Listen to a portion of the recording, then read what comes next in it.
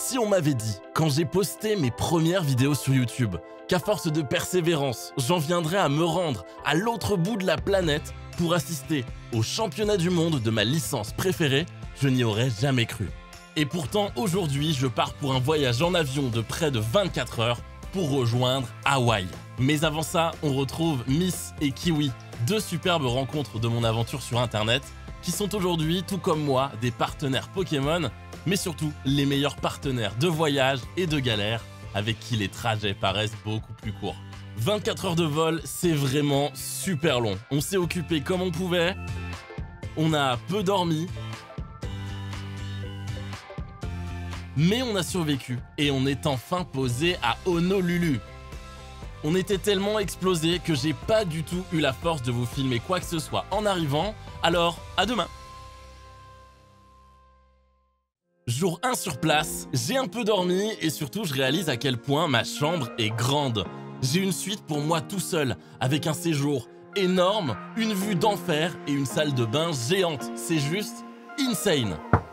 Tiens, quelqu'un toque à ma porte. Bon, Kiwi, explique-nous, qu'est-ce qui se passe là Ok, donc du coup, moi j'essaie de recréer le teint glowy, un peu sueur que t'avais hier qui t'allait super bien. T'as dit glowy sueur, ça m'allait super Parce bien. Super, yes. Hier, je t'ai dit, oh, t'as fait quoi ta peau? Et tu m'as dit, bah, je suis en sueur, mais ça t'allait super bien. Alors, j'ai deux trucs. Raconte-nous. J'ai le B Goldie de Drunk Elephant. C'est un peu un truc en mode doré comme ça. Et quand Ah, tu l'étales sur la peau, ça fait, tu vois l'effet que ça fait comme ça Mhm. Et ça c'est pareil mais un peu rose du coup pour les joues. Voilà Du coup tu mélanges Ouais. dans tes mains, voilà, et tu peux te l'appliquer sur tout le visage. Ok. En fait c'est juste en train de te rendre rouge là comme tu frottes. Oui, mais c'est normal, j'ai parce que j'ai la peau qui marque. Et du coup pour les joues, attends les joues je vais t'aider. Et donc ça ce que tu Et là, je laisse comme ça. Super. Non là ce que tu vas faire c'est que tu vas juste euh, Tapoter. Tapoter pour que ça se fonde dans le- D'accord, ok. Ah je t'en ai peut-être mis autant que moi j'en ai. Donc j'en ai peut-être un peu trop bas. Voilà. Mais faut que tu te mettes au soleil Viens viens viens Faut que je me mette au soleil. Attends, bah, vas-y, faut que je me mette au soleil. En vrai, oui, ça rend bien, mais après, euh, le soleil, ça rend bien quoi qu'il arrive. Oui Regarde, regardez le vertige que ça donne. Tiens, j'ai peur. Regarde tu peux voir la piscine là-bas, tu peux... Ouais, elle est sympa. Il y a personne là. Mais là, regarde, si, si... Oh mon dieu mais t'as raison. j'ai vraiment peur. Ah Je tiens la caméra, mais j'ai très peur de vous. Oh là là là, vous vous rendez pas compte à quel point c'est haut. Eh, tu vois la mer Oui, je vois la mer par ici. Et je la vois. que tu Regarde, non, non, viens. tête, hein. Je la vois ici. Ah, c'est bien, ils ont trouvé un moyen que tout le monde ait vu sur la mer. Ouais, donc en fait, j'ai vu ici, donc ça va, ça passe. Pas de temps à perdre après cette séquence skincare, on doit se rendre au petit déjeuner de bienvenue pendant lequel on retrouve toute la team des médias et influenceurs français et européens, ainsi que toute la team de Pokémon qui va nous accompagner pendant ce week-end. Petit déjeuner express car c'est déjà parti pour le premier gros événement de notre voyage, la découverte du Pokémon Center éphémère des Worlds de Honolulu. C'est l'entrée ici, regardez le thème un petit peu euh, aquatique, sous l'océan. Normal, on est à Hawaï, c'est trop trop cool. On va découvrir un petit peu tout ce qu'il y a, tout ce qu'il y a à acheter, les produits exclusifs. Je vous fais un petit tour tout de suite, c'est parti Un Pokémon Center, c'est un magasin Pokémon dans lequel on retrouve des figurines, des peluches, des vêtements et même des items Pokémon rares. Comme chaque année au championnat du monde, le Pokémon Center met en vente des objets exclusifs brandés pour l'occasion. C'est le seul endroit au monde où ces objets pourront être achetés.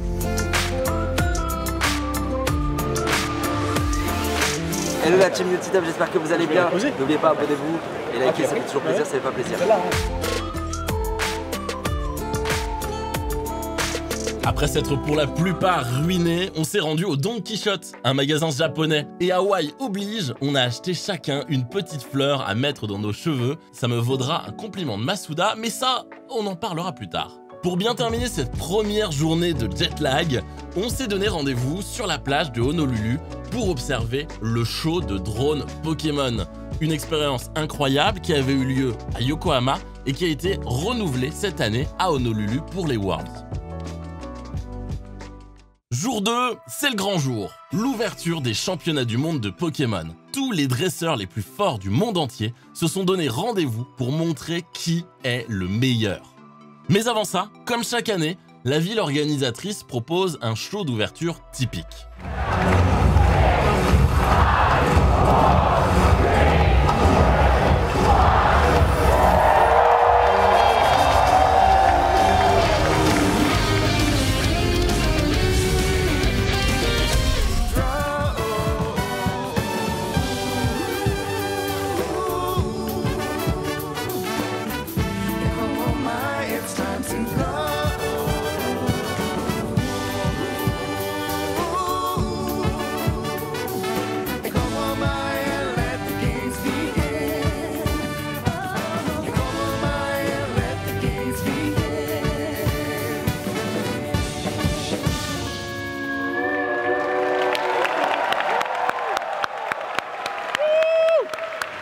C'est parti pour 3 jours de compétition sur les cartes Pokémon. Le jeu vidéo Pokémon écarlate et violet, Pokémon Go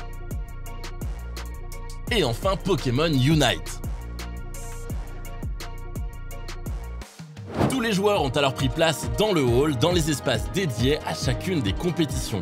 Le hall, il était décoré aux couleurs de Pokémon et vraiment, on sentait à la fois une ambiance réconfortante, reposée, mais la tension de la compétition et ça, ça faisait plaisir.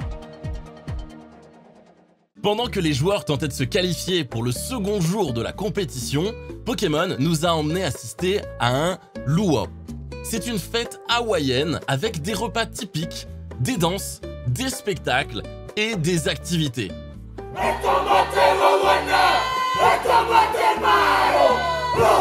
Et des danseurs ultra beaux gosses qui jouent avec des flammes.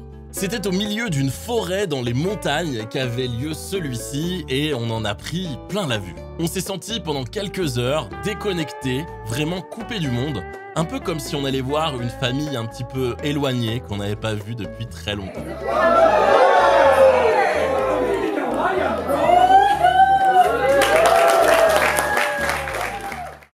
Jour 3, la compétition continue. Mais avant de découvrir où en sont les joueurs, et notamment les joueurs français, on a fait ça. Alors comme ça, ça ne paye pas de mine, mais ce sont des Genki Balls, des boules de micro-organismes qui permettent de nettoyer les eaux de Hawaï. Plus tard dans la journée, elles seront jetées dans un canal pour accomplir leur tâche. Bon allez, petit tour dans le hall de compétition et découverte de certaines activités auxquelles tous les visiteurs pouvaient prendre part. Une chasse au tampon pour repartir avec un petit lot, des spots photos pour avoir des superbes souvenirs, ou encore des side events qui sont des petites compétitions à part permettant de gagner des prix assez stylés.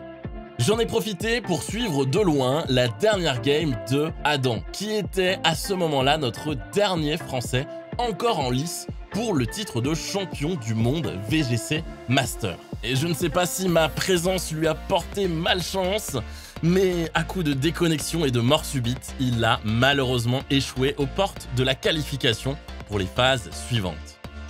Pas le temps d'être triste cependant, car une rencontre avec une personne exceptionnelle arrive. Rendez-vous au troisième étage pour passer un moment avec Junichi Masuda, directeur créatif de The Pokémon Company, mais qui a par le passé travaillé en tant que développeur, compositeur, designer ou directeur sur les jeux Pokémon. De mon côté, c'est pas la première fois que je le rencontre. Loin de là, en 2016, j'avais eu l'occasion de l'affronter sur la scène de Japan Expo. Toujours un plaisir de le croiser chaque année au Worlds et quelle fierté de voir qu'il me reconnaît à chaque fois. Il a même complimenté ma petite fleur dans les cheveux, j'ai bien fait de l'acheter. À peine remis de nos émotions, Pikachu plongeur était présent dans les couloirs du Convention Center. L'occasion de prendre une petite photo avec lui. J'ai ensuite profité de l'après-midi pour faire un tour au Pokémon Museum. Un espace dans lequel étaient exposés tous les objets exclusifs des Worlds des années précédentes. Un vrai voyage dans le temps.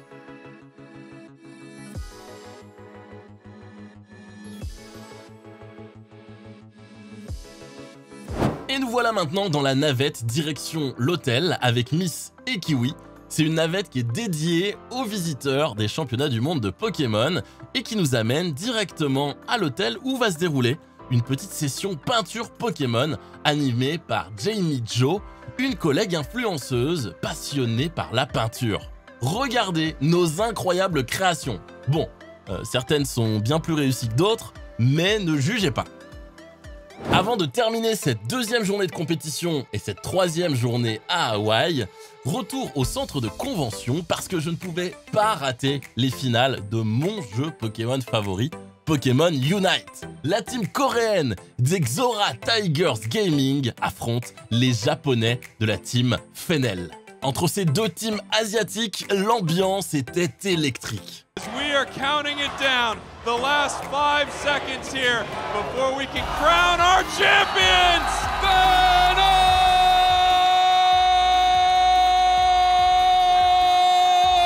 C'est au final l'équipe japonaise des Fenel qui est sacrée championne du monde 2024 de Pokémon Unite. Dernier jour de compétition et on commence avec un bon petit-déj dans un restaurant coréen à côté de notre hôtel en compagnie de Kiwi et de Arthur, un journaliste du journal du geek. S'enchaînent alors les finales de Pokémon Go.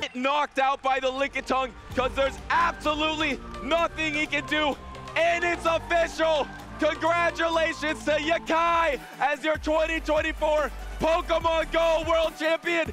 He's cooking! Puis les finales junior, senior et master des cartes Pokémon. What are we thinking here, Shay? I'm thinking that there might not be a way out of this for Shinosuke. Uh, just going to conclude that Earthen Vessel. And there is Fernando! Fernando Cifuentes is your 2024 Pokemon Trading Card Game World Champion! Fernando takes the World Championship trophy back to Chile for the first time ever in Pokemon history. Et enfin, les finales jeux vidéo junior, forfeit, and Kevin Hahn throughout the season has proved he's the best junior in the world, EUIC champion. senior Ray Yamanaka is gonna be your Pokemon World Champion here in the Seniors Division. et la tant attendue finale master qui clôture traditionnellement la compétition. Lors de celle-ci, deux monstres s'affrontent. Le japonais Yuta Ishigaki et l'italien Luca Ceribelli.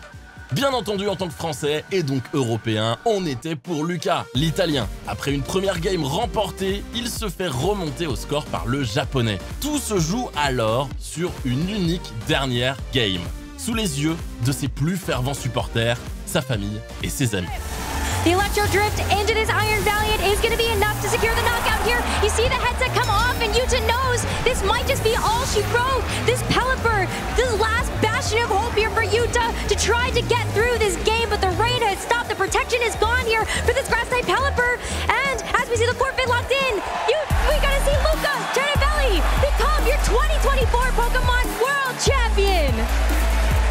Après plusieurs dizaines de minutes d'affrontement, c'est la libération. is your 2024 Lucas Ceribelli World est sacré Champion. du monde et ramène donc sa coupe en Europe. determination to win was detected for Luca Cherubelli. An encore of applause is completely deserving for our champion and the Pokemon who gave him a helping hand to victory. amazing stuff.